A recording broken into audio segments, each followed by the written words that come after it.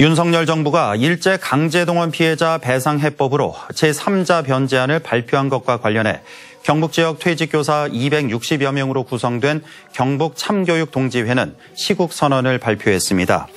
경북교육청 앞에서 열린 시국선언에서 교사들은 강제징용 피해자들의 배상 권리를 부정하는 것은 일제강점을 합법화하고 헌법이 선언한 대한민국 임시정부의 법통을 부정하는 것이라며 윤석열 대통령을 파면시킬 충분한 이유가 된다고 주장했습니다. 또 피해자들과 국민이 일본의 사과를 요구하는 것은 감정이나 돈 문제가 아니라 과거 제국주의 침략에 대한 역사적 평가를 양국 국민이 공유함으로써 다시는 침략 행위를 반복하지 않는다는 약속을 하자는 것이라고 지적했습니다.